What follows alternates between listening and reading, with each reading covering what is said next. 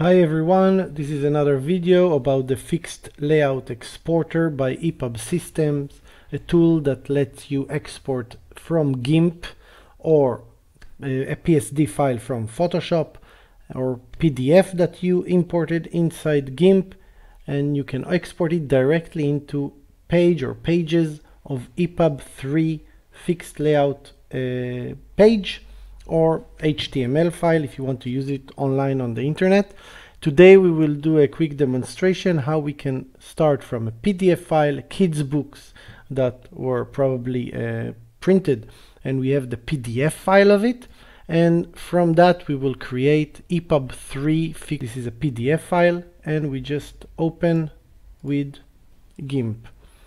The first thing we need to, to do while importing it is to select which pages. As you can see GIMP very uh, easy uh, can import the PDF file, you recognize all the pages and we can select uh, with control, we can select which pages we want or just select everything. And we will import it every page from the PDF file. We will import it as a layer a separate layer. The ratio of the pages already set here and we will just import it as you can see here let's try to uh, zoom in. You can see here each layer was imported with a name. We talked about the names that are very important because in the end they are becoming an object and file names. And for now it's just numbers. Uh, we will leave it like that although later if we want to use uh, groups or interactivity it's better to have better uh, logical names to the pages. So also we can link to it and move between pages if we want with interactivity and clicks. For now we would leave it like that. Um, so every layer is just uh, a number.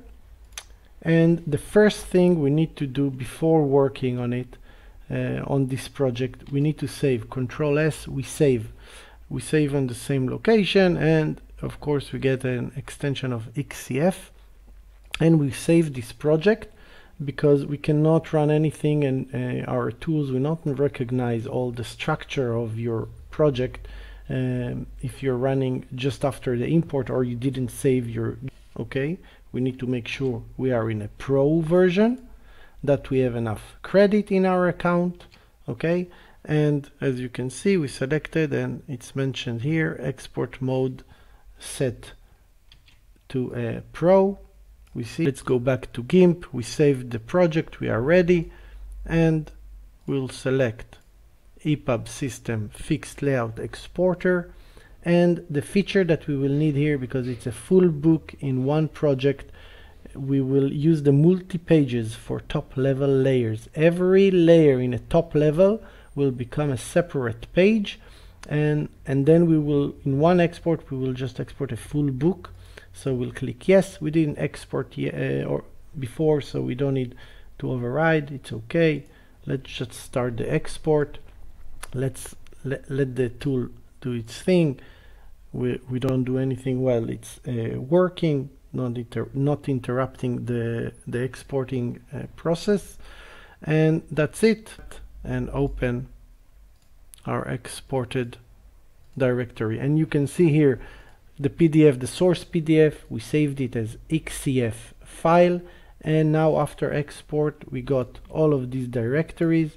All our images all the pages are here organized and all the the files ready to um, to import inside Sigil that's it empty um, format of EPUB that we have. Without any content here there is even errors. We will fix and check it later. And as you can see there is nothing in this uh, EPUB just some cover. Um, so this is this is a, a very uh, simple format that we are using in order to um, to import it. It's really recommended that you will have one like that that you can always uh, just copy and change and add your information inside of it. You can see there is even errors here multi IDs that are defined. These things you need to fix anyway. But Sigil is the new version is very good very clean and producing a very clean EPUB. We'll save. As you can see we have nothing except of a cover. The only thing we need to do here is text add existing file we'll go to our text directory that we exported from the fixed layout exporter. We select all the files and we import it. And basically that's it. All the images are here all the styles are here and all the files are here. We have a preview here on the side of the page. Everything is set. The correct uh, viewport is set and basically that's it. We can just to make sure everything is correct let's see which errors we will get.